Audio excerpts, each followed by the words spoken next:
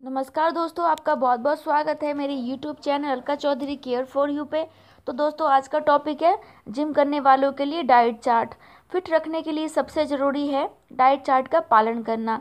क्या आपने कभी यह सोचा है कि आपको खाने के साथ कितनी कैलोरी और विटामिन कार्बोहाइड्रेट जैसे पोषण युक्त आहार की कितनी ज़रूरत है? बदलती लाइफस्टाइल और अस्त व्यस्त दिनचर्या के कारण डाइट चार्ट को फॉलो करना मुश्किल है। लेकिन आपको बीमारियों से दूर रखने में डाइट चार्ट बहुत मदद करता है। डाइट चार्ट के अनुसार खाने से मोटापा diabetes acidity blood pressure cancer जैसी घातक बीमारियाँ नहीं होती हैं। यदि आप डाइट चार्ट बना रहे हैं तो उसे मौसम के हिसाब से ही बनाएँ। जैसे कि गर्मी के मौसम में पानी और अन्य लिक्विड पदार्थ ज़्यादा होना चाहिए। सर्दी में मीट और डेयरी उत्पादों को भी शामिल कर सकते हैं। इसके अलावा सीजनल और हरी सब्जियों को ज़रूर डाइट चार्ट में शामिल कीजिए। तो दोस्तों, अब मैं आपको डाइट चार्ट बता दूँ, बता रही हूँ। आप अपने हिसाब से भी डाइट चार्ट को बना सकते हैं बट आप मेरे हिसाब से फॉलो कर लीजिए थोड़ा थोड़ा बस। तो दोस्तों डाइट चार्ट इस प्रकार है। सबसे पहले सुबह सुबह आपको भारी खाना नहीं लेना, हल्का खाना लेना है तो उसके लिए आपको लेना होगा एक गिलास दूध। दूध आपको मलाई रहित लेना होगा, यानी कि लो फैट मिल्क लेना है आपको। इसके साथ आप चाहें तो तीन से चार या पाँच बादाम भी आप ले सकते हैं दूध के साथ। सुबह नौ बजे ब्रेकफास्ट का समय होता है। ज़्यादातर लोग इस समय अपने काम की शुरुआत करते हैं। नाश्ते में आप चाहें तो अंकुरित अनाज एक प्लेट ले सकते हो। मिक्स या वेजिटेबल उपमा उपमा ले सकते हो। इसके साथ आप ग्रीन टी ले सकते हैं या फिर एक गिलास जूस भी ले सकते हैं। आप चाहें तो आप ओट्स ले सकते हैं। आप चाहें तो आप परांठे भी खा सकते हो, क्योंकि अक्षय कुमार परांठे खाते हैं सुबह नाश्ते में, और आप जानते हो कितना फिट है तो आप सुबह नाश्ते में परांठे खा सकते हैं, कोई प्रॉब्लम नहीं है। आप दो परांठे खा लीजिए। दोस्तों, इसके अलावा आप चाहें तो अंडा खा सकते हैं, अगर आप अंडा खाते हैं तो आप एग वाइट खाइए, उसमें बहुत ही प्रोटीन होता है, और जो जिम करने वालों के लिए बहुत ही ज़्यादा फ़ायदेमंद होता है।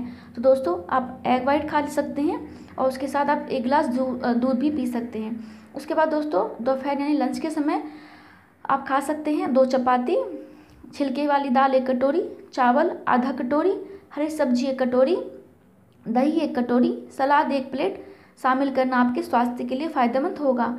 साथ ही इनमें भरपूर मात्रा में पोषण होता है, जो शरीर को हेल्दी रखता है। दोस्तों, उसके बाद तीन या चार बजे के बीच लंच करने के लगभग तीन घंटे बाद हल्का सा नाश्ता करना चाहिए। इसके लिए एक कप चाय लेंगे आप।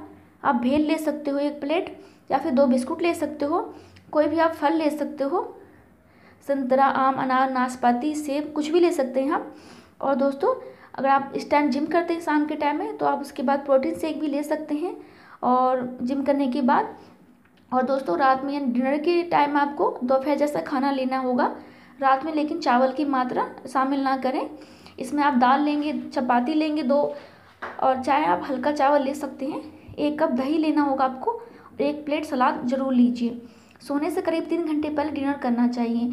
आप कोशिश कीजिए आप नौ बजे से पहले डिनर कर लें। इससे खाना अच्छे से डाइजेस्ट हो जाता है, और पेट की समस्या जैसे कब्ज और एसिडिटी नहीं होती। दोस्तों, सोने से पहले आपको लेना होगा एक गिलास दूध, या फिर आप जूस ले सकते हो।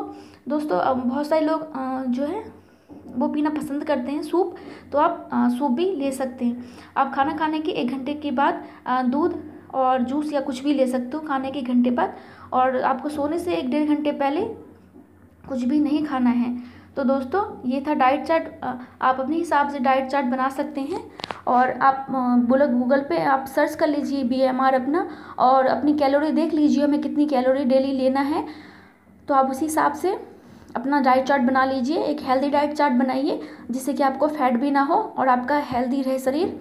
तो दोस्तों, अगर आपको मेरा वीडियो अच्छा लगा होगा तो प्लीज़ मेरे चैनल को लाइक कीजिएगा शेयर कीजिएगा सब्सक्राइब कर लीजिएगा। और मैं मिलती हूँ आप लोगों से नेक्स्ट वीडियो में, तब तक के लिए bye take care all of you thank you so much मेरा वीडियो देखने के लिए।